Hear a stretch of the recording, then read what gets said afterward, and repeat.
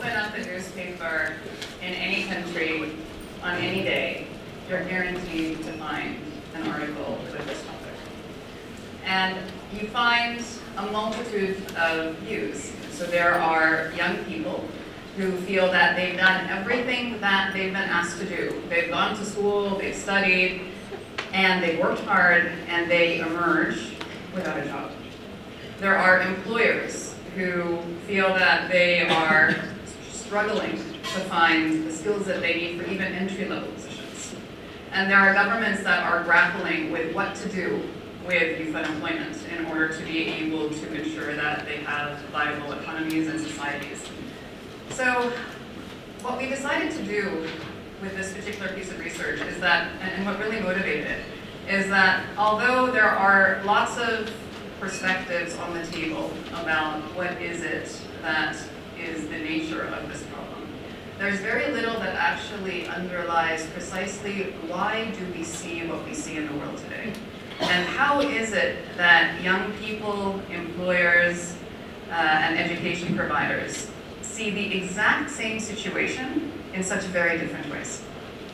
So with that, let me introduce you to what we did with our research. So in the case of Europe, um, and, and, and, I should say that uh, in 2012, we did a global report, um, and which was similar to this, and then on the basis of that decided to do a deep dive in Europe itself, simply because of the magnitude of the crisis here on the youth employment topic. Um, so in the case of Europe, we surveyed over 8,000 young people, education providers, and, and employers. Um, and we also then uh, were able to visit over 100 education to employment programs across 25 countries in order to really understand when it works, what does it look like, and what are the commonalities that we see across them. So what I'll do here is share the findings from both of those typefaces. So the first lesson, which came out very stridently in the case of Europe, is that although we find very high youth unemployment in Europe, we still are not finding employers who are, who are able to get the skills that they need. And so in particular, historically, when you look over the last two decades, you find that youth unemployment in Europe has systematically outpaced average adult unemployment. So this is not a new problem. What is, in, what is is that with the onset of the recession, the problem became much more acute. And what happened was that young people began to be competed out of the market as more, as, as more workers stayed in the job market and as more new entrants came into the job market and what and why why were they competing out? And this, in many ways, says it all. Um, what we found is that although you would suspect that employers would find finding people like fishing in an ocean, given the high degrees of unemployment, that's not what we heard from them. So first of all, 40% of employers said that they cannot find the skills they need for even entry-level positions. And then second, what you see here is that a third of employers said that they're facing significant business consequences as a result. And interestingly, those employers who say that they face the most strident business consequences are in the countries with the highest youth unemployment. Now, what lies beneath that? Uh, so I mentioned before that we sought to ask the same question to all three parties in order to understand how they see the world in very different ways. So one example of that is with regards to the readiness of graduates for the workforce. So we found that somewhere between 35 and 38% of young people and employers said that graduates are ready for the job market. In contrast, we found that almost 75% of education providers said that graduates are ready for the job market. Now, what explains that? When we then turned to say, okay, well, are you looking at job placement data? You know, what is it that causes that optimism? There is almost a third of, of education providers that can't even answer that question about where are young people actually landing. And then those that do often underestimate by a significant margin. So this just goes to one of the points of it's a data-free zone on some level, um, in that the ability to know what is actually happening in the market and why we see these phenomena is not today underpinned by a hard set of data. Next, um, if we just take the perspective of young people, and here we ask the question, so do you believe that you have the information you need to be able to decide what to study and where to study? And this is information like job openings, uh, wage levels, career trajectories, etc. What we found is that on average, um, and this is not from the global data, only about 45% of young people felt that they had the information they needed. And in the UK, it was only 30%. Now, this is interesting um, because what we would say is that if, if, if, you look at things like the, uh, like the National Career Services, there is actually a significant amount of data that is available relative to what we see in other countries. However, the presence of data is different than the awareness of data and its usage. Um, and, this is, and this is quite critical. You know, so it is one thing to have the data, but it is entirely different to ensure that young people are actively using it in the decisions that they make about what they do and why they do it. And, and we'll come to this theme a bit later. So now if I just turn to uh, the points of friction, and I, I should say first that we sought to understand what was happening at each of the three milestones in the journey from education to employment. And we defined those milestones as one, deciding to enroll in post-secondary education. The second was actually learning skills, and then the third was finding a job. So I'll just briefly describe the points of friction on all three. So first, in terms of enrolling, when we asked those young people who did not pursue post-secondary education, what was the what were the reasons behind that? The number one reason across all countries was affordability. And this was interesting because in the case of Europe, uh, education is so in terms of tuition is often either free or highly subsidized. What this remark is about is with regards to living expenses. So because young people often have to go to a different town in order to be able to access their post-secondary seat.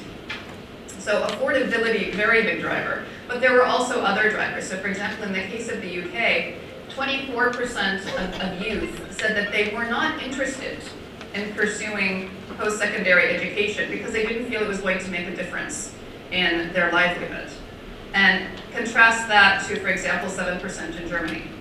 Um, so there are, there are values that young people were placing on whether or not they felt post-secondary education was going to be a vehicle to a better future. And the UK was on the higher side of not interested or don't believe that, that there is value there.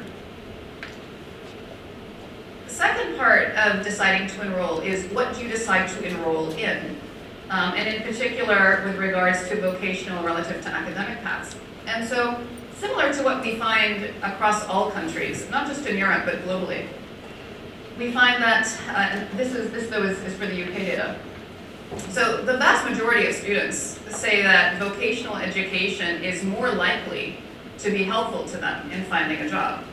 But only a minority would say that it's valued by society. And so therefore, they end up with a significantly lower margin deciding to actually pursue vocational education. And it's because of this tension between, I think it's more important, but I know society doesn't value it, and so I'm not going to go that path, even though I think it might be better for me. Uh, we find this pattern consistently across all countries, with the exception of Germany, where it's, where it's equally regarded in terms of vocational and academic. If we now go turn to the, the question of building skills. So here, what we find is that across the board, young people believe that hands-on learning is by far the most effective way for them to absorb skills. And yet, only about 40% of young people find themselves in academic or vocational programs that enable them to learn that way. So this is, again, one of the mismatches of not only do young people say that they value a different way of learning. Employers also say something similar, um, but we're not yet at the position of creating programs that enable them to learn in that in the in the manner that they view as most effective for them. And then lastly on this front, little surprise that due to the mismatches along the way, we find that less than half of young people believe that their post-secondary education helped them to find a job. And this for us was actually one of the most tragic findings of the work. Now, it's important to note that this is obviously a perception. So there is an abundance of, of evidence um, in the economics field with regards to how a degree is a material influencer of, of, your, of your lifetime earnings. Um, and so there is an abundance of that data, but the reality is that these young people at this moment in time are simply not seeing it because they are seeing rejection after rejection in the job market. Now, if I just now turn to um, a segmentation analysis, which, which we did, and let me just explain it a bit. Employers and young people are not monolithic entities. We often treat them as though they are, but that's simply not the case. And so we went through and did a segmentation of both employers and of young people on the view that you need different types of interventions to be able to support different types of employers and young people. Um, I'll, I'll, just share here the employer segmentation. And the reason why to do so is the following. There is an important school of thought that says there really is no education employment gap. It doesn't exist. What's happening is that employers are shirking on their responsibilities in training young people. And that's the reason that we see the gap today. So we wanted to put that theory to the test.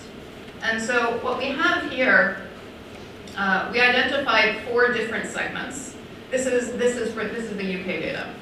Um, there are two segments the renowned and the engaged, that are investing actually significantly in getting the right skills, in training, in actively recruiting from different channels. So they are investing and they are getting results that they need for their particular business. But then there are two other segments where, so, so the, what, what we call the standalones and the disengaged. So the, the standalones recognize that they need to invest mm-hmm. in the skill gap, but they aren't really collaborating with other players, be it education providers or other employers. So they're finding it a bit tough, and therefore are not getting very much out of the investment which they make. And then there are the disengaged, which are essentially companies that realize, I know it's a problem, but I just simply don't have the wherewithal to do anything about it today. And by the way, the majority of the standalones and the disengaged the, you, you, will find a preponderance of small and medium enterprises in these categories. Um, so what this is saying is that it is not the case that all employers are not engaging and delivering. There are a segment that actually are quite active in this space. But equally important, there's a segment that is ineffective or not doing anything at all. Um, and this is an important challenge, particularly given the presence of small and medium enterprises who often simply don't have the wherewithal to be able to invest in order to be able to get to a better training solution uh, for their young people and for the staff. If I now turn to what do we do about it? Um, and here, Within the report, we had a multitude of, of, of, recommendations. I'll just focus here on those that most greatly affect scale. And, and the reason why is the following. I mentioned that we looked at over 100 examples of education to employment programs across 25 countries. Across the board, we found some very successful programs. But the challenge is that they only help hundreds of young people, maybe thousands, but very rarely the hundreds of thousands and millions of young people who we know need this kind of support. In fact, across the 100, we really only found three programs that are achieving 100,000 young people annually. So the question is, how do you achieve scale, and how do you do it at a fast pace?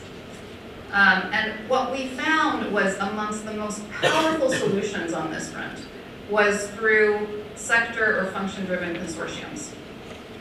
Um, and the reason why is because when you have employers across a sector coming together to say, these are the skills that we need, and actively collaborating with education providers to deliver those skills, then it creates a much more powerful force than if it's a single company that is seeking to make this kind of a shift. So I'll just give you a few examples. So uh, in, in, terms of a sector, uh, so even in the hyper-competitive automotive sector, in the US, there is uh, something called the Automotive Manufacturing Technical Education Collaborative. It brings together over 30 auto companies and over 30 uh, community colleges across 13 states in the US. They went through and defined what are the core skills that anyone who is an engineer or a technician on the shop floor should have. And they then created partnerships with the community colleges and the universities to deliver this kind of a program. It is over 50% practicum, um, and it, is, it has now become the badge of honor within the industry. So there's no question that if you emerge from this program, you have the skills to be effective on, on the shop floor. Another example is by function. Uh, so in some cases, employers worry about poaching. And so they're not keen to necessarily be a part of a collaborative within a, within a certain sector. And so here we found examples of, of a particular skill, so such as mechatronics, where multiple companies from different industries who all have a need for that particular skill come together in order to be able to produce that kind of person. So this is the example of Apprenticeship 2000, which uh, produces a cadre of mechatronics workers. So mechatronics is a combination of computer science, uh, mechanic, me mechanical, electrical, process, etc. Um, and it's a very scarce breed of person, but you need this person for any automated facility. a third example is working down a supply chain. Uh, so we've seen examples where anchor companies essentially say to their suppliers that because you have a skills problem, I have a skills problem. So they invest in order to bring the rest of the supply chain, which often does include small and medium enterprises, to upgrade the support that they're giving to their entry-level workers and even professional development beyond. Um, and then lastly, um, we've also seen efforts geared towards small and medium enterprises themselves. Uh, so there are often these group training organizations that essentially will hire on workers, train them, and then allocate them across different employers. So I, I offer these as, as simple examples of how we've seen collaborations, very powerful ones occur across employers even in the most competitive of industries, to be able to crack the talent gap. It happens. It's not a mirage, but the world needs to systematically make much more of these types of programs come together. Um, I'll offer just one more example before pausing, which is, um, again, to the point of how to achieve scale. We spoke earlier about how learning by doing is one of the most powerful ways for young people to be able to absorb skills. And so apprenticeships is often the vehicle to achieve that. Um, but as we all know, not all apprenticeships are created equal. Um, and further, there is a limited number of apprenticeship seats that are available. And so we are, we've, we've now been observing a, a, a more nascent phenomenon called serious games, which are essentially video games that mimic the workplace context. Um, and so through repeated play of the game, uh, young, young people are able to gain practical skill. And there is early evidence now that each time the game is played, the level of skill increases by 10 to 15% up until a threshold. So this is a way for there to be a hands-off learning approach, but in a way that provides it with much more hands-on learning. Um, and so we think that this is, an, this is an area that is fruitful to watch. It is not a replacement for actual sitting by someone's side, but it is significantly better than having no practicum whatsoever. And what's, what, what's critical across the board is finding ways to take both the hard skills and the soft skills and integrate them in such a way that it's played out in these serious games, uh, which I'm happy to talk about further. So I will just pause here, um, and I think we then transition to the panel.